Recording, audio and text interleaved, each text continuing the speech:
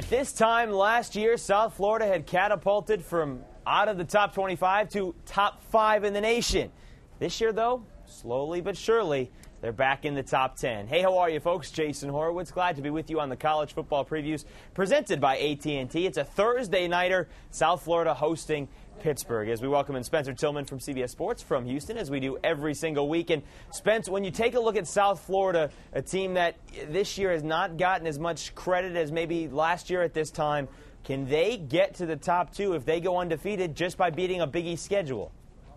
I think they possibly can. Again, I think everyone is kind of holding out to see if they repeat what they did last year. Remember, they got on the precipice of doing something special, and then they lost a ton of games to close out the season. So I think everyone's kind of holding their breath just a little bit to see if South Florida is for real. I will say this the encouraging thing about watching them last week, without George Selvie on defense and another one of their starting nose tackles without of the contest as well, they put up a pretty strong defensive performance against a team that wants to establish the run game first. So I, am encouraged, and if you're a South Florida fan, you should be that they're able to have such a stiff defense despite three of their starters being out. Uh, they were very good last week, but has their body of work heading into the Big East season been enough? Hosting Kansas and winning a road win at Central Florida and that road win last week at NC State. Has that been enough, and can that carry over?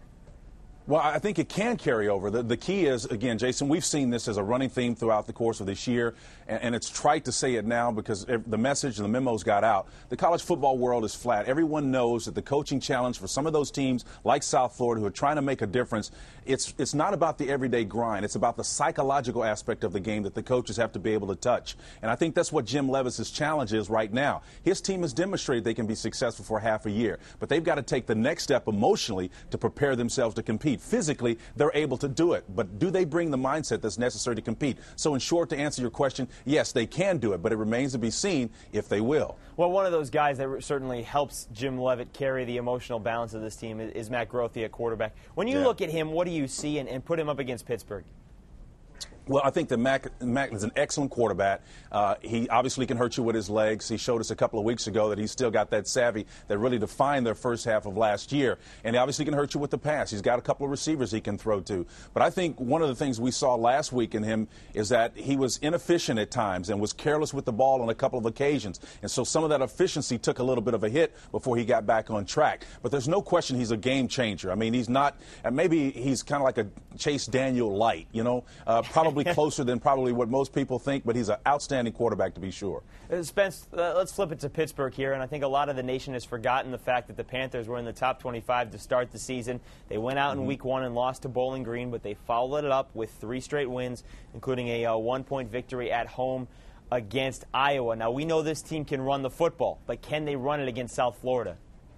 Well, it's going to be tough, and that's going to be the challenge. You, you, know, Pittsburgh's success of late has come when they got LeSean McCoy running the ball. Last year, freshman sensation finally eclipsed the 100 yard mark last week. And again, if they can get him going against one of the stiffer defenses in all of college football, I think they're ranked like fourth or somewhere against the run uh, defensively, uh, fourth or fifth.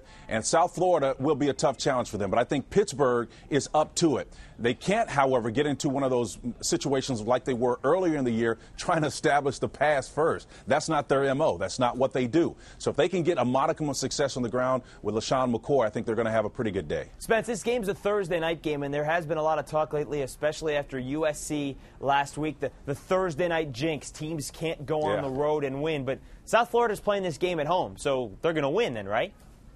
Well, I, I, don't know if they will. I mean, again, you look at last week and then a couple of weeks before, home cooking hadn't necessarily guaranteed victories for a lot of teams. And so that, that's been kind of a running theme so far this year. Of course, uh, USC being, being the biggest one actually went on the road, but that was a place where they had been before, knew the lay of the land. Uh, Oregon State had beaten them before, but they still didn't have the mindset to go and compete. So that takes us back to what do you have to do, home or away, to come away with the win against a team that you probably should beat.